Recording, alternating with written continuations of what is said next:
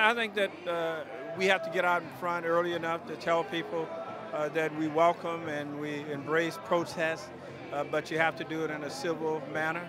But more importantly, you have to get to the underlying challenges that caused the protests in the first place by having very strong community policing, having people working with the police, and engaging in a spirit of cooperation to avoid the protests in the first place. And the whole, and the whole uh, uh, those who uh, do harm accountable. Uh, we have a wonderful police department in Montgomery County, well managed, excellent leadership, uh, but once in a while you may have a problem.